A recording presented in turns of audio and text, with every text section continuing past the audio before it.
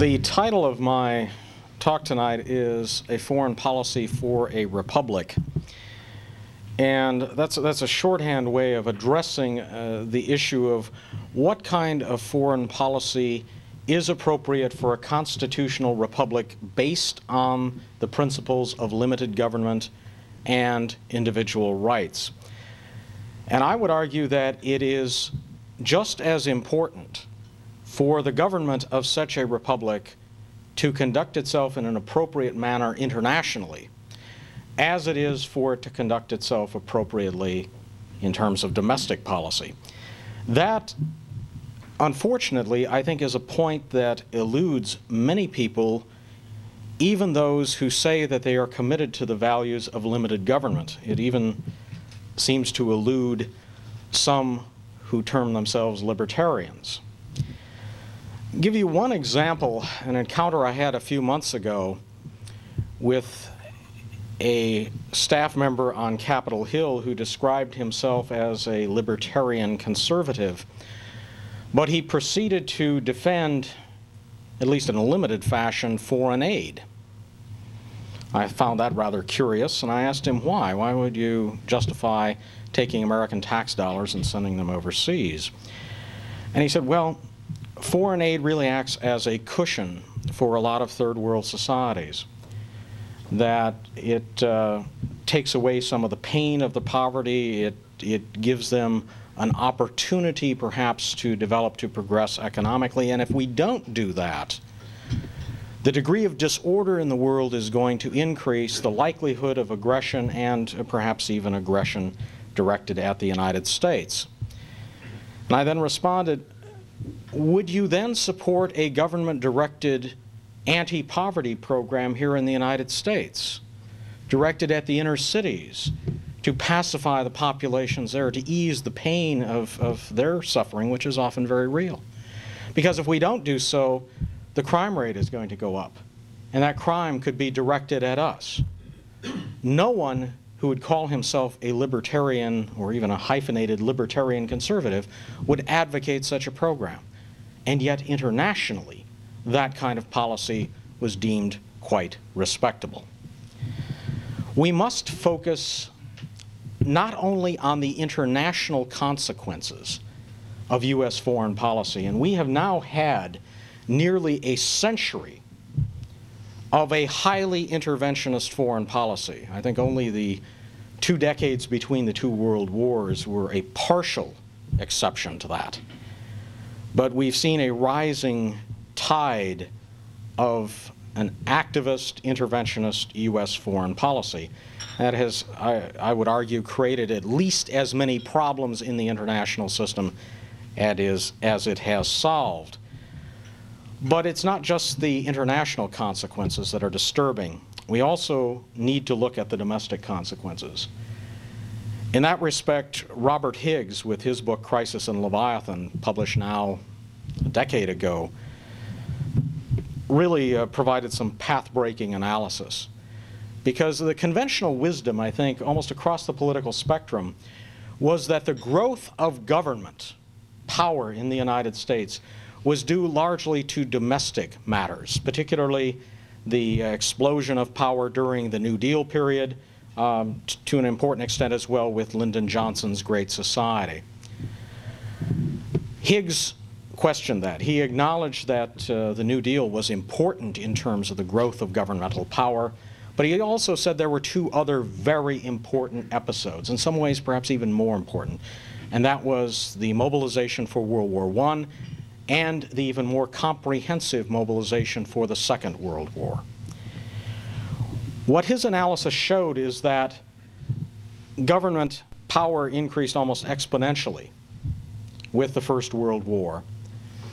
And although that power then receded once the war ended, there was nevertheless an important residue of power that remained. In other words, the size and scope of government did not retreat to what it had been prior to World War I.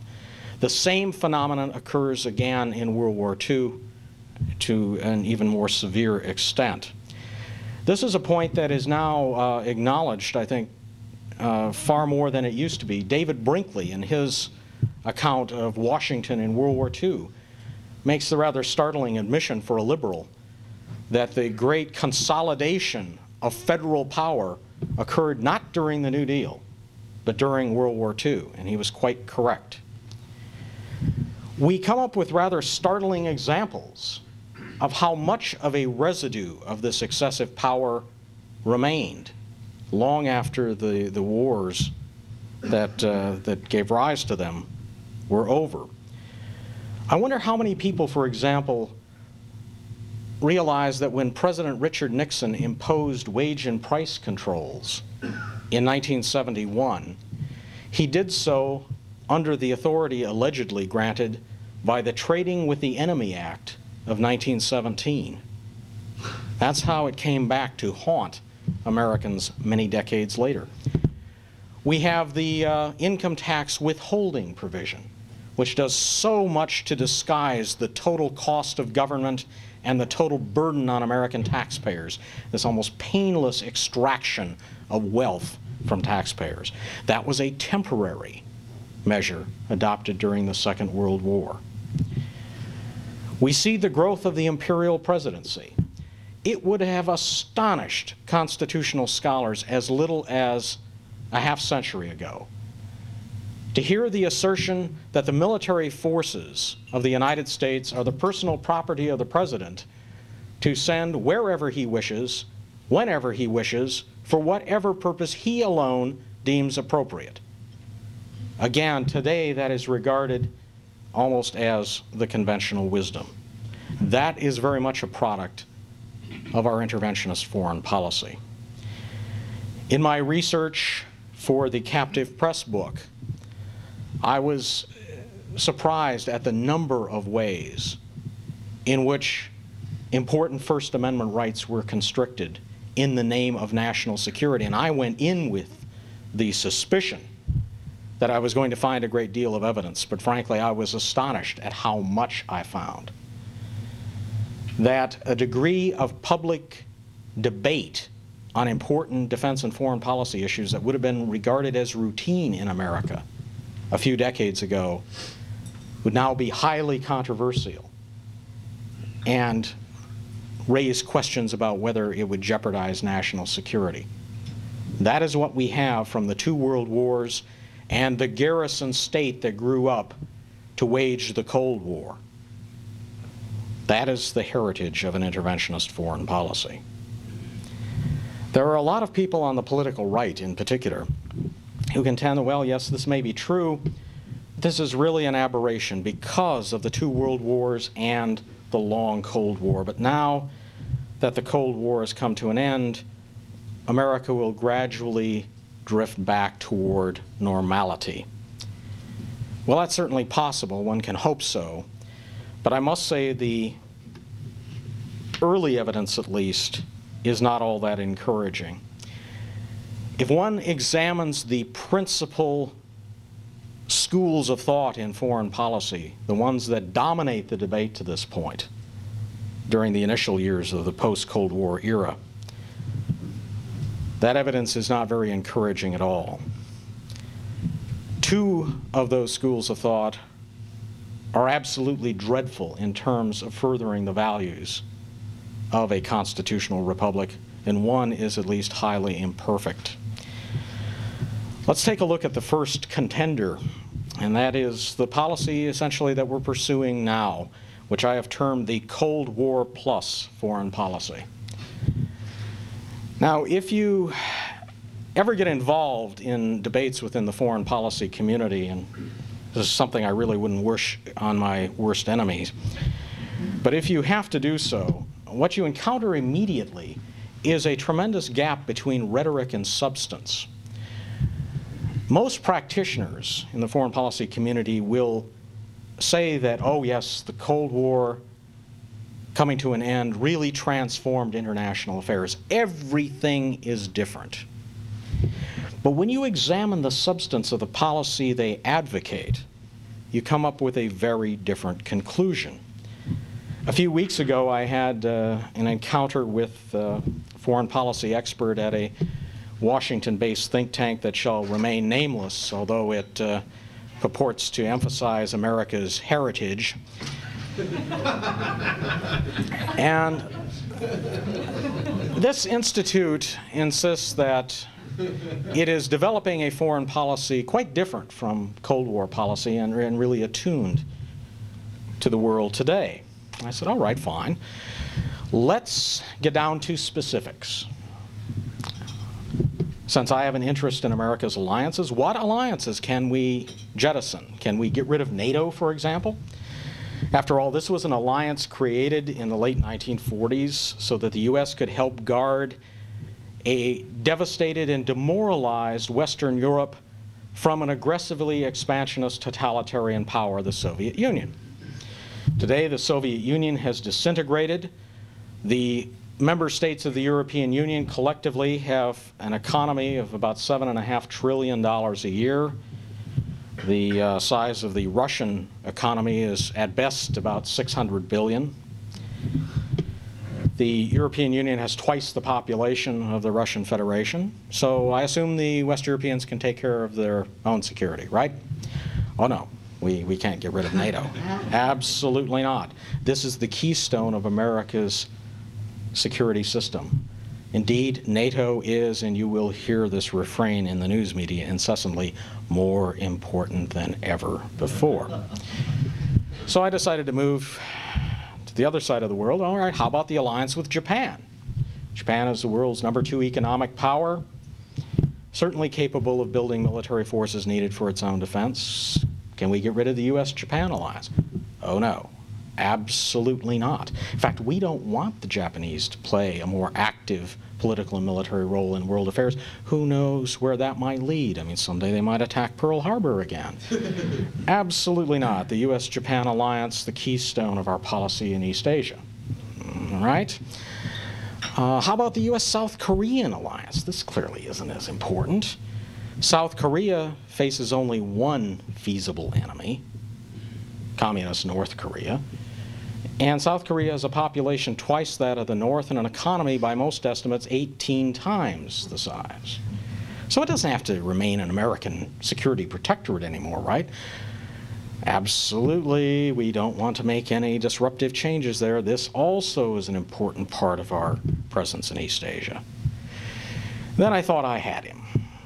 I said, all right, ANZUS the alliance with Australia and New Zealand.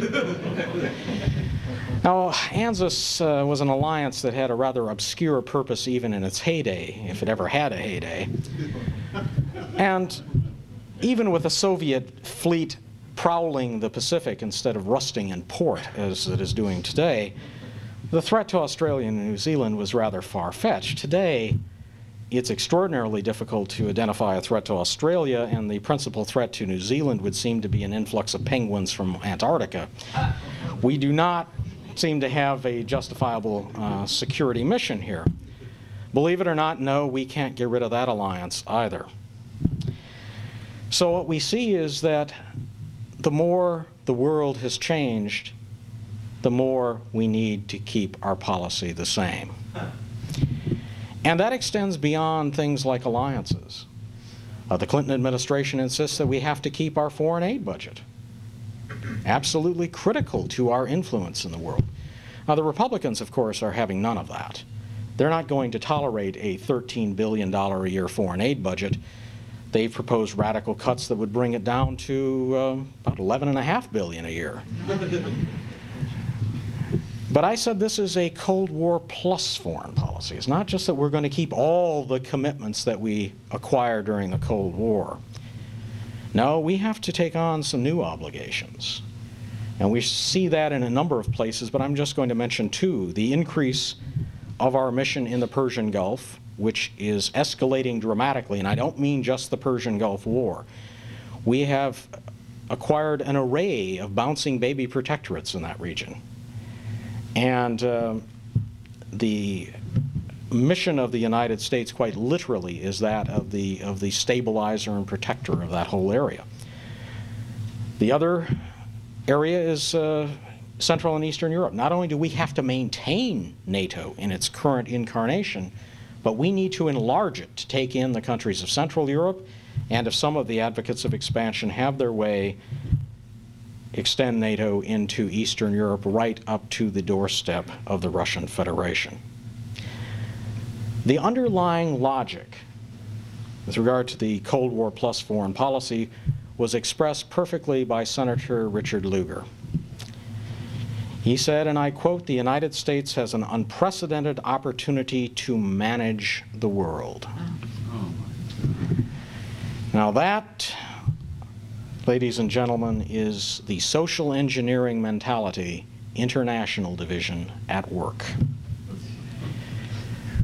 Now what's wrong with that? I mean, it's a policy that uh, will defend American interests, supposedly. Well, there are a number of adverse consequences. The most obvious one is that it imposes an enormous burden on American taxpayers. The United States spends more on the military than all of the other industrial powers in the world combined. That is a rather startling realization. It costs each and every American more than $1,000 a year to support the military. It costs each Japanese, for example, about $360, each German about 350. That's one measure of the cost of, quote, global leadership. But that's not the most important objection to this Cold War plus policy. The most important one is that it, it creates excessive risks. It quite literally puts the United States on the front lines of crisis after crisis around the world. During a visit to Tokyo this past July, where I met with a number of officials with the Japanese Foreign Ministry and Defense Agency, I asked them about three hypothetical situations.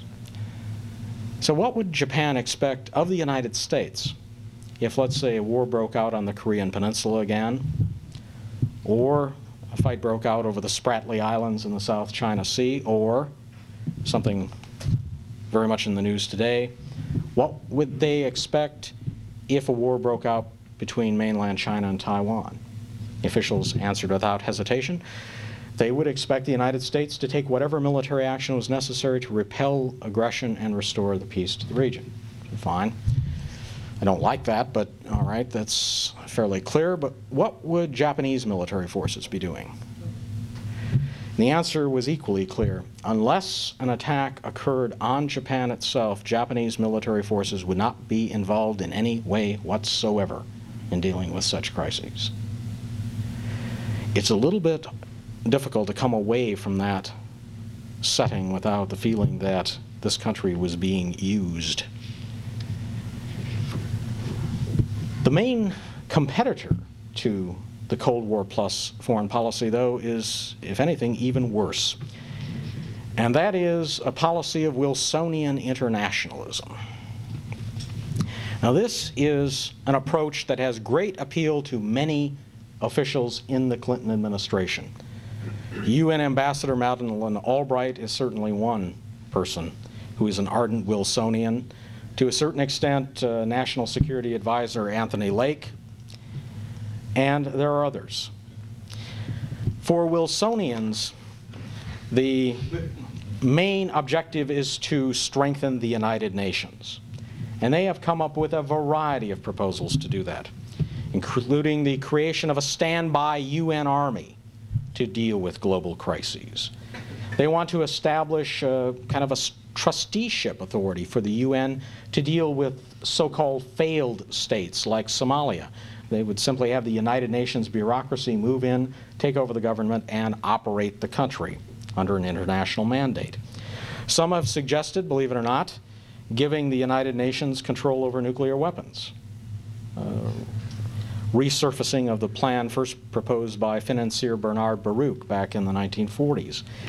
And the favored panacea advocated by Secretary General Boutros Ghali and many others, is to give the UN independent taxing authority to levy a very, very small tax, nothing major at all, on things like airline tickets and international financial transfers. As I said, if anything, this is even worse than the Cold War plus foreign policy for a number of reasons. For one thing, it would globalize every conflict, and in particular, it would involve the United States in a, a, bewildering array of conflicts around the world. You would find American troops in more Somalias and Bosnias in the coming years. And if the Cold War plus foreign policy is a form of international social engineering, Wilsonian internationalism is international social engineering run amok. Then we have the third competitor, and this one I think has tempted some advocates of limited government, and that is Buchananite nationalism. And I have to admit, the approach by Pat Buchanan and some others in this camp is fairly decent if you just look at narrow security issues. He is the only candidate, for instance, who advocates phasing out America's alliances and abolishing foreign aid. No one else has even come close. But Buchananite nationalism comes along with some rather unpleasant ideological baggage. The most obvious one is the commitment to economic nationalism or trade protectionism. And it's not just bad economics. A policy of protectionism means automatically a terribly intrusive political state. The government is going to dictate from whom consumers may buy products and at what price. It's a little difficult to square that with the concept of limited government. There's also the hostility to immigration, which I think is particularly offensive for people in this country, given the heritage of this country on that issue. And I think that's indicative of a rather nasty undercurrent of xenophobia. So although Buchananite nationalism is not as offensive on balance as the other two schools of thought, it too is not appropriate for the foreign policy of a constitutional republic devoted to liberty. Do we have another alternative? Well, I certainly think we do. But to get to that alternative, we're going to have to really change the dynamics of the foreign policy debate in this country. We have to get beyond the light switch model of American global engagement. The light switch model is basically, uh, basically assumes there are only two possible positions, on or off. Either we have Americans dying in snake pits like Somalia and Bosnia, or we have a fortress America and a hermit republic. We want nothing to do with the rest of the world. Well, those are false alternatives. It is important to recognize that there are multiple axes of engagement, different types of engagement of which the military form is only one. There are also the diplomatic, economic, and cultural axes of engagement. And the last two, I think, are particularly important because they're predominantly non-governmental, which is why I think the would-be architects of American foreign policy are uncomfortable with them. The fundamental reality is that there is no need to have identical positions along each axis of engagement.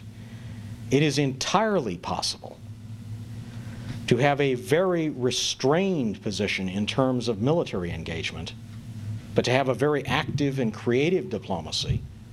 There's absolutely nothing wrong, for example, in using our good offices to try to bring combatants to the peace table, to end suffering, and we can have full bore, maximum engagement culturally and economically.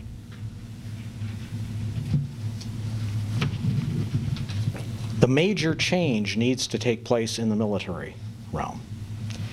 That is where we need to adopt a policy of strategic independence. Strategic independence would mean very simply that the military forces of the United States would be used solely for the defense of the vital security interests of the American people. not to promote democracy or to save failed states or to promote international stability or all the other wonderful goals that policymakers can come up with.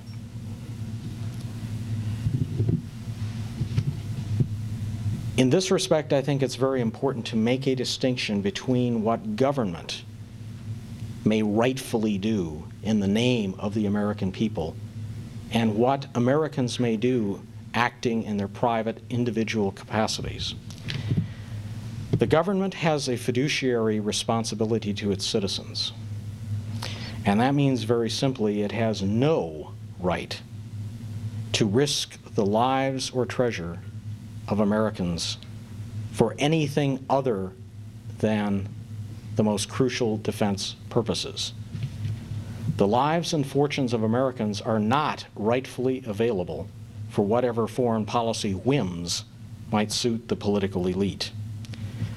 Now again, individuals may reach a different decision, particularly when there are human rights outrages taking place in the world. I've had many people come up and say, how can we stand by and watch the carnage that has taken place in the former Yugoslavia? And after I point out that that carnage isn't all that different from the carnage taking place in a lot of other places in the world, except that CNN happens to have its cameras there. I asked them, uh, if you feel so strongly about that, why haven't you joined the Bosnian army? Why haven't you sent money to relief organizations? Why have you not put yourself on the line to deal with this problem? If you feel so strongly about it, please do so, and you certainly should have the right to do so. Any legislation to the contrary ought to be rescinded. But you have no right to spend the wealth of your fellow citizens or to put their lives at risk through the actions of the United States government. The foreign policy that is appropriate for a constitutional republic based on liberty was outlined by John Quincy Adams more than 175 years ago when he said, America goes not abroad in search of monsters to destroy. She is the well-wisher to the freedom and independence of all. She is the defender and vindicator only of her own. That was a good policy then. It is a very good policy, indeed an essential policy now. Thank you very much.